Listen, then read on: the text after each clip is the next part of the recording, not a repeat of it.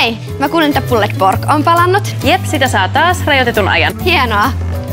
Ajattelin asua täällä niin pitkään kuin sitä saa, kun viimeksi ei syödä vaan yhden. Okei. Okay.